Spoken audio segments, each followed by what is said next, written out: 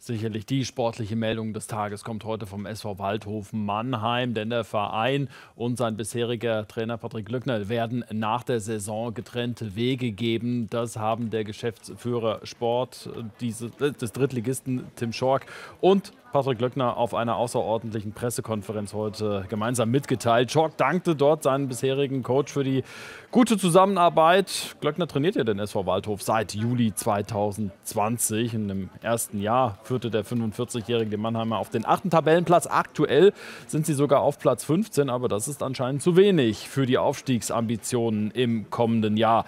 Die Mannschaft wurde heute Vormittag von Tim Schork und Glöckner über die Trennung informiert und dabei wurde es in der KW Kabine offenbar emotional. Also ich persönlich konnte den Jungs gar nicht in die Augen gucken, weil ähm, ich weiß, wie wir äh, zueinander stehen und es ist für mich unwahrscheinlich schwer, weil es wird ja ein familiäres Verhältnis mit der Zeit, du arbeitest tagtäglich zusammen und ähm, ja, ich konnte auch nur drei, vier Sätze sagen, dann ging es nicht mehr. Von daher, ja, wir sind ein Team und wir